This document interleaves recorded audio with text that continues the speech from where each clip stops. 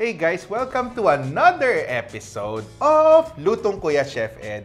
And today is a special episode because we have a special guest. Special guest because we have our first ever guest on the show. We have Mr. Paolo Lorenzana of Mafalda Makes. Woohoo!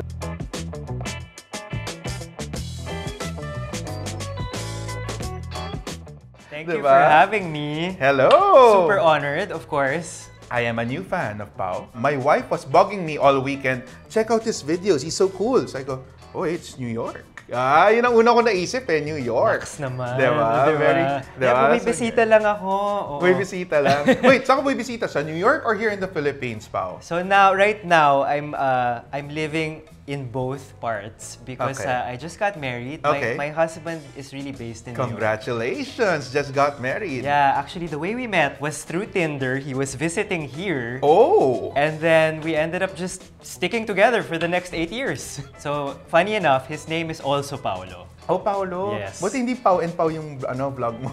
Pao, I will be asking you questions all throughout this episode because I'm very, very ano, excited to ask you about your life and what you do because first time mo magkaroon ng guest dito sa show eh. Pao, what are we cooking today? So today, I, I decided to choose gnocchi Gnocchi. because not too many people know that it's actually quite easy and you only Super need very few ingredients. Yes. Gnocchi in Italian. Nox, may trivia. Do you know what gnocchi means in Italian? No, tell us. Hindi ko rin alam. Baka invento to. Hindi, joke lang. I know gnocchi means cloud. No, parang ganun. Very fluffy, very cloud-like. So when you see, ano, yung mga pillows, parang pillow siya, gnocchi. So when you see gnocchi, yung, ano siya eh, it's really a potato-based pasta.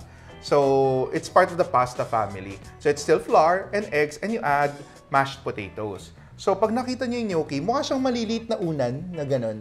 'Di ba? So you boil it, you can sear it after or saute it. So that's what a gnocchi is. it is quite heavy despite it Mm. being cloud-like, diba? Yes. But, you know, for a little more fun with the gnocchi, we'll fill it naman today. Oo. Oo. We'll fill it with uh, with cheese. Oh, cheese. So it's even, uh, you know, more flavorful, diba? So it's a cheese gnocchi. Guys, I am so excited.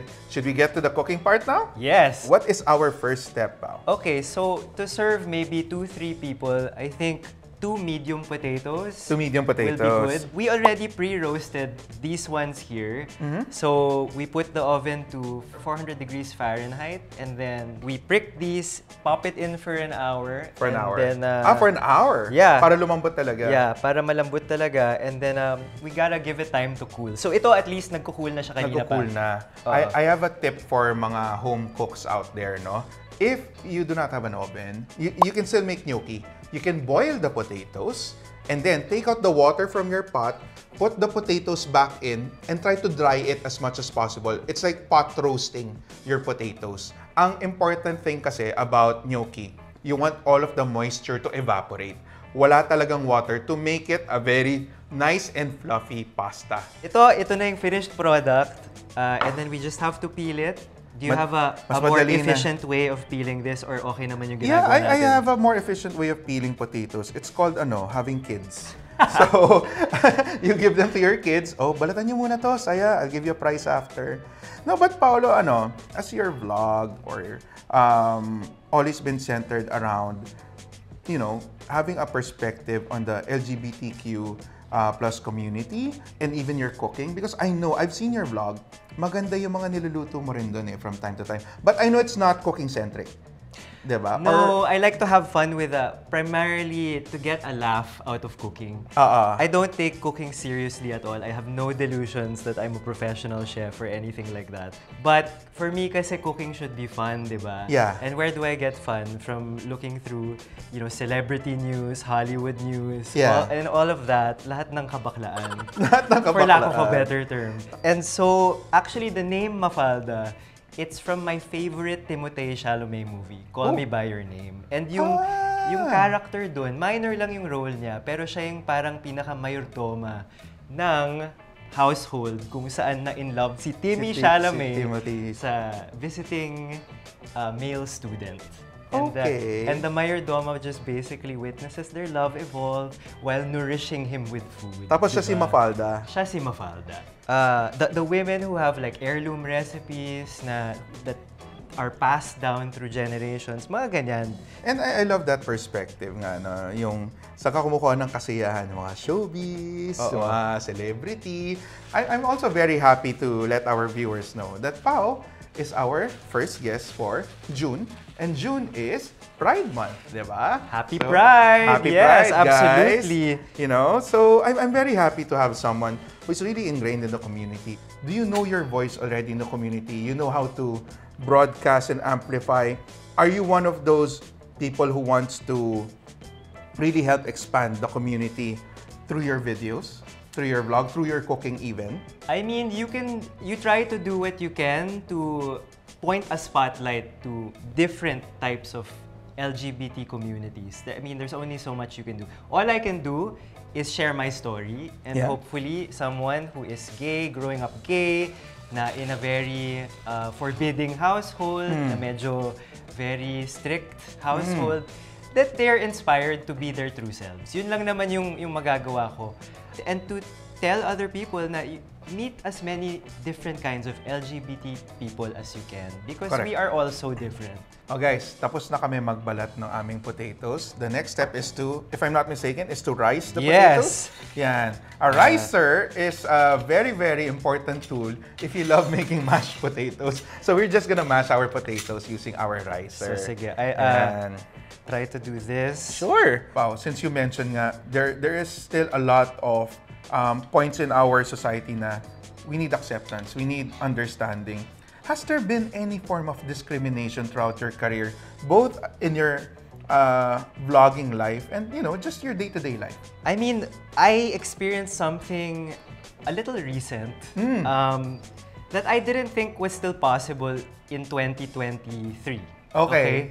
So, and it's related to being in, in the food scene here in the Hmm. Philippines. But uh, like uh, last year, I was approached by a restaurant chain, no? Oh, Uh, okay. a very popular one. And, Bawal uh, sabihin, toot! Yeah. The point is that uh, they, uh, someone young in their team had approached me initially to do uh, parang uh, a nice A endorsement a of some sort. Or, uh, yeah. yeah, an endorsement. To, to oh. eat at the restaurant, show that Okay. you're enjoying it. And then, so na-shoot na yun at lahat. Oo. Tapos sa, sa huli nun, biglang uh, some weeks passed na wala akong feedback from the team. Pero na-shoot na? Na-shoot na at lahat. Na, Okay. Ready for posting na Oo. and everything. And then what I found out from an, from someone I knew in the team is that a higher up, siguro someone older, someone Oh, a little more no. conservative, decided na, but hindi to dinaan sa akin? Because we Oo. don't want to show uh, this person who clearly is very proud of, of his same-sex relationship. So for them, it was an image thing. Yeah, like this is Aw, a man. quote-unquote, you know, a, a family brand or whatever. as, Oh, as if naman there aren't also queer families, di ba? Yeah, So- that's tough to hear. I'm sorry to hear that, Pao. You know, um, ako nga, it's more about ano eh, right now in this day and age, it's about not riding on the trend because may mga iba nagta-trend jack na lang eh. Pride month, kahit walang kinalaman yung brand nila or ano, biglang magpa-pride whatever tayo. Wag naman ganon. Always support all year round. Hindi pwede pag June Exactly, lang. diba? Diba? Ang hirap nung ganon. Tapos you had to go through that. This was here in the Philippines. This was here in the Philippines. Oh, And it's a man. beloved restaurant chain. Oh, man. Sabihin na natin, breakfast chain. Ah, man. Okay, chef. So I think meron na tayong mashed potatoes. Yes. And we can mix everything else in. Okay, what are the next steps? I'll be your assistant today, Pao. Eggs na ba? Flour? Ano next? Uh, we can put some salt in. Ah, salt pala muna. Uh, a teaspoon ano, is fine or you eyeball fine. mo na lang. Ah, I'll eyeball it. You want your, ano, your gnocchi fairly seasoned, but not too much salt because it might extract too much excess liquid again. Potatoes are sponges, no? So, e- even if you, if we dry roasted it in an oven, nila, ano eh, meron pa rin yung tubig sa loob eh. So, not too much salt. Just maybe around half a teaspoon. That's enough muna. You can season your sauce anyway later. So, yan. I like to add a little more flavor. So, nag-onion powder ako. Onion powder. But we can okay. skip that because we've... No, it's okay. Salt is good. Onion powder. You know, um, potato starch is the secret uh, weapon of a lot of Chinese restaurants in Manila. Uh, they use that as coating. Uh, it's lighter, it's fluffier also. So that will add a bit of fluff to our Yes. uh, gnocchi. How much do you think we need, chef? Just a little bit kasi we're still adding ano, eh, um, flour, all-purpose flour. Maybe this is half a teaspoon. Maybe a teaspoon. So half, then another one. Just to bind everything together. Yeah. And then, uh, of course, our flour. Yan. We are using type 00 flour. This is usually pasta flour. No, ah, Italian flour more than anything. They use it in pasta, in pizza, itong type 00. You can get it in specialty stores here in Manila. Ayan, quarter cup of flour. Again, it's just like pasta. We're putting together a couple of starches, potato, flour, potato flour also, and then our eggs later to make a nice, light, fluffy batter. You think we should add some pepper to this? Para, Sure. Yeah. Sige, some Little pepper. Let's crack some pepper. If you have white pepper at home, you can also put white pepper para maganda pa rin yung kulay ng ano mo, ng gnocchi mo. What's But the black difference with white pepper? For me, cooking, there is a certain ano, astringency to white pepper. Meaning, it's more fragrant. Mm. Mas mabango. Kasi black pepper, kumbaga sa coffee, dark roast na yan eh. Okay. ba? So white pepper is a little bit more fra- ano, fragrant and also if you're cooking something light, it's better to put white pepper para hindi magkaroon ng black specks yung niluluto mo. Okay. Ayun. So there. Yes, and then I think final na natin is the egg. The egg. Okay. How many eggs do you I need? think for this is one, no? Just one. Okay. So there. Uh, the best way is to crack your eggs on a flat surface. Yeah. So tamang ginawa ni Pao. So that you don't get any shells inside your ano, dish. There Yan, we no? go. Walang shell. So that's your gnocchi, guys. Exciting. Yan. We added some excess moisture, which is the eggs, no? So you just want the flour to absorb everything. Perfect. Yan. I Di think ba? it's It's a better ball, no? As dough. Ayan na siya. And then, next is, we'll start forming the gnocchi, tama? Yeah. So we have to dust our board. When you dust boards, no, yung mga chopping board nyo, make sure it's clean. And then, you dust it from the side. Why? Because you just want a very thin layer of flour on your on your chopping board. Ayaw mo mag-sprinkle ng ganyan kasi it will clump together. So ganyan, magkakalat ka talaga. ba? You want it from the side. Then we can start rolling our gnocchi. So let me plop this over there. Sure. If you feel it's too wet sa hands nyo, just you can add more starch, just add more flour. Okay, There there we you go. Yan. Then you just want to roll it nicely. There, nice and fluffy. There you go. How You big can- should we roll it, chef? Like uh, an inch, ganyan? we can ano, we can actually cut the dough Okay. first para it's more manageable. Yeah. You don't have to uh, roll the whole thing. So, yan no, you can start doing that. Yan, pagka medyo you're getting to a nice oblong shape, you can split it again. There. Kasi panipis yun ng panipis eh. Diba? That's your goal for your ano eh, for your gnocchi. Get them into nice one-inch shapes. So there. So far so good. Am Yeah. I ano doing your recipe right? Definitely. Nahiya ako eh, baka mamaya. Hindi. It's been years since I last did gnocchi. so I all I know is you just have to do this with gnocchi. Yeah. Get it as elongated as possible. We love an elongated shape here. Yan. Again, make it as workable as possible.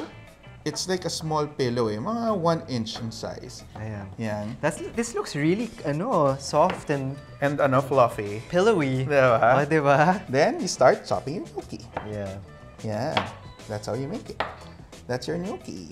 They look like small pillows now. They do nga. And this is basically pasta. So imagine, you made your own pasta at home. You made your own pasta. You can dust it a little bit more para hindi siya magdikit-dikit. There, just sprinkle flour. Diba? Then just toss it very lightly. Some some ano gnocchis, depende sa anong region ka sa Italy eh. You use a fork to roll and make rivets around it.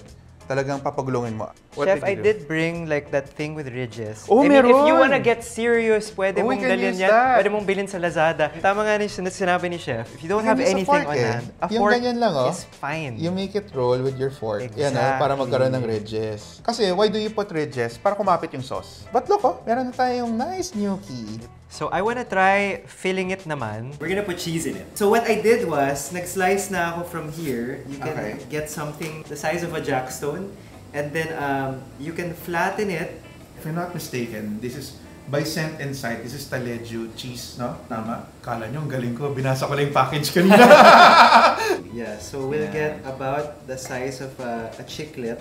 Uh, ayan. also. Ipasok. Ah, ako then I'll just stuff it in. And then Tama we ba? we fold it. Siguro fold it. Fold it there. Yeah, like and that. then Like yung so. seams niya. And then seal the seams. Yeah. And And, then, then- we can roll it, round it Roll, out. Ayan. Just Nabuhay. gently lang para hindi lumabas yung cheese. There. Then do you want to put ano, the ridges on it? Ang galing, oh.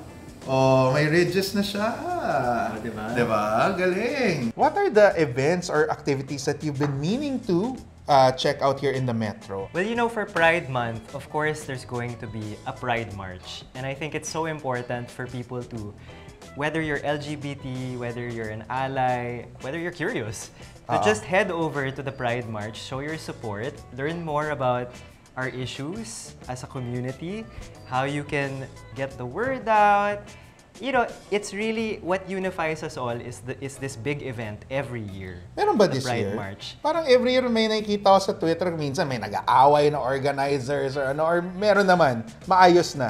I think ah, yung away lang naman dahil nakaka-stress gumawa ng ganyang event. I'm sure, eh. it's a huge event, Ah, man. But for the people who attend, I think it's Super eh, fun. Nothing compares to being in that kind of unifying environment. Tapos may mga performances. Yeah. It's, it's one big party. And the one point of Pride primarily is to celebrate, di ba? Tama. To celebrate being exactly who you are without any, you know, hindrances, di ba?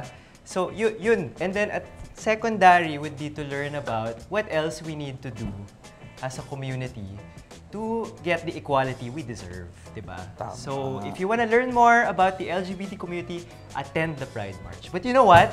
Yes. I'm super excited to see so many events around the metro in restaurants, uh, in bakeries that Bakeries? are yeah, that are drag brunches. Oh, I mean, drag brunch. Familiar ka ba, chef? Yes, I've, I've heard of them, but I've never attended one. My wife wants to attend one. Ano nangyayari sa mga drag brunch? So, of course, drag queens are so entertaining. So, There's may show. comedy, oo, May there's comedy, may kantahan. Okay. And what can be better than stuffing yourself with carbs and having a good laugh, di ba? Oo, saan to? Saan sa Manila ang meron na, ano? Lalo na yung bakery. Oo, so yung bakery na alam ko is Butterboy. I've had their croissants. They're really good. Their pastries. Ang sarap ah. Napa-order ako. So sila, meron sila sa ano nila, bakery nila. And then I think may nakita akong drag event din sa Janetto Pizzeria. if Mistaken. Pizzeria. Where, where are they located? I think that's also in Quezon City. It's, it's so nice to see people enjoying themselves with the LGBT community na past Pride, 'di ba? Hindi lang sa Pride month, hindi lang sa June yung ganyang mga Yeah. events, 'di ba? Okay, now we are going to boil our gnocchi. Dito na ako. Palit kami ni Okay. Pao. Pao will start preparing the sauce. Yeah. Ayan. Boiling water lang ang kailangan ko.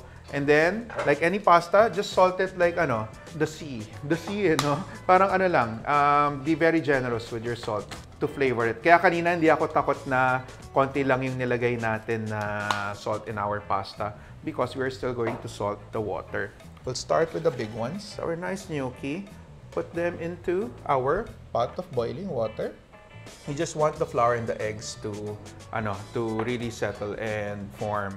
Pao, what are you doing over there? Ano yung sauce natin? So really simple uh, tomato and garlic. And we- Tomato and garlic. No need to add anything else, just the halved tomatoes. We're Okay. gonna blister them here, meaning we're going to just fry them up until they become pulpy. Nice. Make sure that your dough is cooked all the way through. It also adds to the fluffiness of it. Pagka nag-float na siya, we put them straight in a bowl with olive oil just so that it coats the gnocchi. There you go. Meron tayong extra virgin olive oil from New York. Ito daw ang medyo social na ano ngayon na olive oil. Just a little bit. Extra virgin olive oil is really used for perfuming and for ano, um, flavoring, not for cooking. So you just want to coat the bottom of your pan. Nagpa-float na siya, guys. Ayan, no? Unti-unti na siya nagpa-float. With any fresh pasta, as long as they start floating, luto na yan. You don't want to overdo it kasi syempre, di ba? Um, lalo na for yung mga dried pasta, you want it al dente. For fresh pasta, as long as they're floating, you know they are good to go. And they are floating already. Sandukin na natin. Make sure they are super Ah, dry. they're alive! They're alive! Kamusta naman? Tama naman yung nagawa nating gnocchi? Sa, sakto sa na-envision mo pa, oh? Oo. Yan. Hindi siya sumabog kasi di ba filled siya. Akala ko mamaya yung cheese mag-ooze out eh. Pero hindi. out, no. Tama yung ginawa natin. Just toss them in the olive oil. They say when you make pasta, you hear that ASMR. ASMR. It's a, ano raw, the sound of love. Naka-coat na siya. Anong next step natin, Pao, for the sauce? So for the sauce, as I said, like a simple garlic tomato. uh, Okay. I think maybe, wh- what do you think? Butter or oil for this? Let's do little a bit more- of butter and a, lit, a bit of oil. Okay. Ayan, I'll start heating up the pan. Pao, ano, anong experience mo with cooking? Did you attend any culinary school? Did you did you watch through ano? Did you learn through YouTube University? Ano ano talaga ang ano, yung pinaka skill set mo when So it comes definitely YouTube University Masters. to cooking? Masters, Ah. may MA siya. Ah, yung grade school, high school ko, tsaka college, sa mga, ano, sa mga cooks namin sa bahay. Sa mga cooks. Okay. Oh, and, and my family, everybody loves to cook. Okay, that's Yeah. nice to know. A cooking family is always fun. Yeah. Yeah. So that's uh, my first experience was with my sisters. They'd make pizza at home, and uh, I knew I loved Italian food as soon as I tasted my first handful of mozzarella cheese. Okay, first things first, we're gonna start making the sauce. Pero before you start making the sauce, I want to put a nice sear on our gnocchi. Brown it a little bit. The best way to brown any ingredient in the world is to use butter. Kasi butter has milk solids. Ang milk solids ang tutulong mag-brown ng ating food. Diba? So there, a nice sear. Uh, medium-high heat. Then we add our gnocchi. I'm using a spoon so that it's easier for me to start flipping them. When you say you want to brown something, don't keep on tossing it. Diba? You want color on one side first. Diba? Yan. So you just want colored. So you just want it to brown all over. Just leave it. Kita mo? Beautiful. Yan, beautiful, diba? That's a nice seared gnocchi. Diba? It's just patience. Kaya spoon lang ginagamit ko eh. Then after that, we can actually put this on the side. Then we can start making the sauce. What we want to do is we want lightly saute some of the garlic. Yes. Yan. So the garlic goes in there. What we can do is we can add a little bit of olive oil with Okay. our butter so that you lower the smoke point of the butter. Kasi nasusunog ang butter eh. Oil doesn't eh. So, yan, a little bit of the olive oil. So you combine the fats. Ayan, we can smell it na. Diba? Bango, yung garlic, making it nice and fragrant. Then now, dahil nagkaroon ka na ng color sa gnocchi mo, now you can start tossing it. And now you're making a nice fragrant olive oil with garlic. So parang garlic oil siya. Ganda oh. Then we start blistering the tomatoes. Blistering meaning, ano lang yan. Again, same same procedure. You don't want it moved all around. You're not sauteing anything. You're just browning it also.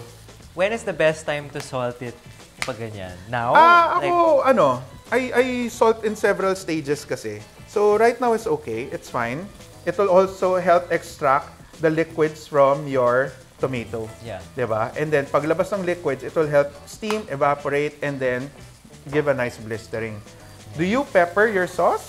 I do like pepper, Hmm. but uh, as long as it's salted properly, I'm fine. You're fine. Pwede Pepper. natin add yung pepper later Yeah. na eh. 'Di ba? There.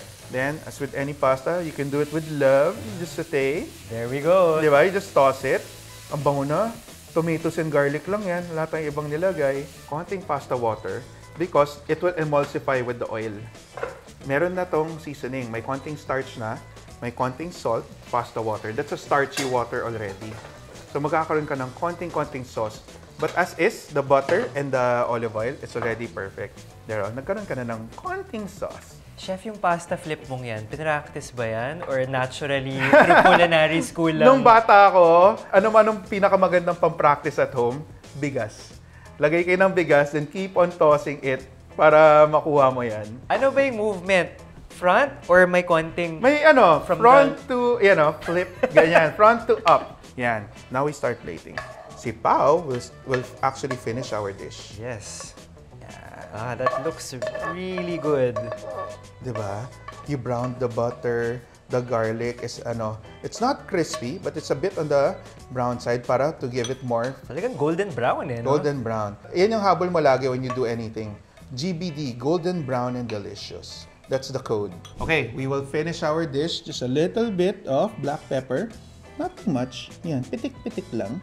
There. And then, And a little more color, o, di ba? Kasi pride, di ba? Pride. Lagyan pa natin ng kulay. And most of Italian food really uses the colors of their flag. Red, white, green. Ayan, no? Red and green. That's your dish, We did Pao. it, chef. We did it. And uh, Diba? I think the most important part, we have to try it. Yes, it's Right? our tikiman time, guys. We are going to start trying our gnocchi. What's the name of your dish? Anong gnocchi to? Uh, this is, of course, the fried gnocchi or pride gnocchi. Sorry. Witty ka doon. Sorry, Witty sorry na. Ah. okay, butter fried gnocchi, diba? Now, Pao, since you're our guest, Thought No. you'd never ask. Let's ganda ng texture. oh. slice it. How's the cheese? It's, it's in there. Ooh, It's Yeah. in there. It's in Oh, there. diba? Try ko. Oh, how is it? Mm. Ganda ng ano. Ooh, Ganda the ng cheese is browning. there, oh. Ooh. Yan, syempre tinuhog ko na kasi gusto ko perfect bite with the basil and the blistered tomatoes. Ang sarap. Ang sarap nito. Talaga. No? Ano masasabi mo, Pao? Ubusin na natin. Successful siya. Um, guys, I would really want to thank Pao for guesting today. Paulo Lorenzana, our Pride Month guest uh, for Lutong Kuya Chef Ed. Palakpakan naman natin. May Thank audience you. eh, no? Thank you. Yan. Oo. Yan. Guys, please do not forget to click like and subscribe no, to Kumusta Media. And of course, follow also. Pao, Pao, promote mo naman yung social media channels mo. Yeah, if I mean, if you want more cooking content with a, a bit of a laugh, uh, follow at mafalda.mix on Instagram. I also am about to launch a YouTube where I track my journey moving from Manila to New York in the next year. Mafalda Mix on YouTube. Saya nun. Happy Pride, Chef! Happy Pride, everyone! Happy Pride! Let's eat! So yun na, guys. Okay, everyone, this is Chef Edward saying bye! Bye. Sorry, naubos ko okay lang, o kain na.